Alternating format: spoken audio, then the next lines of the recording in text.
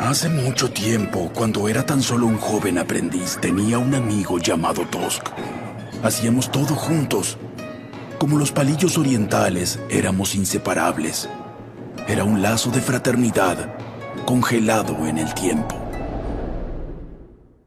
Juntos, Tosk y yo comenzamos a entrenarnos en el arte del kartjitsu. Aprendimos a controlar el implacable fuego, abrazar la estrepitosa ola y respetar las majestuosas ráfagas de nieve. Pero Tosk carecía de disciplina y a medida que nuestro entrenamiento se fue fortaleciendo, nuestra amistad cambió.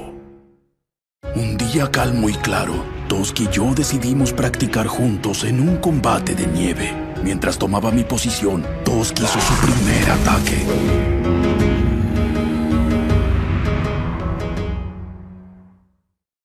Recobré la concentración y contraataqué con una ráfaga de nieve. Lo que siguió me erizó la piel. Con su magnífica fuerza, mi amigo levantó una enorme masa de nieve sobre su cabeza y la arrojó contra mí. Utilicé todo mi poder para detener esa fuerza torrencial. Semejante golpe hizo que Tosk se estrellara contra la montaña. La tierra tembló, el suelo se abrió, la nieve cayó como un rayo desde la cima de la montaña. Todo estaba bajo nieve. Luego de buscar a mi amigo por semanas, encontré su colmillo roto. ¿Qué había hecho?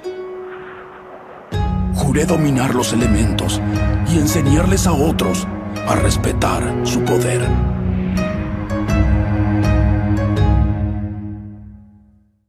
Di batalla a la nieve. Luché para forjar mi camino entre las capas de hielo, pero estaba atrapado.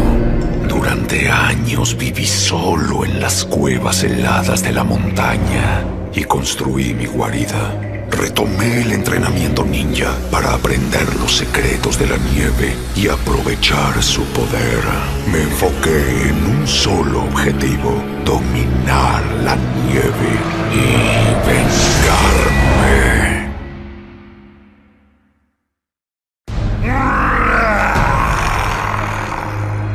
Esta vez has ganado. Parece que tu sensei te ha entrenado lo suficientemente bien. Pero yo soy más poderoso que todos ustedes, pingüinos. Me vengaré.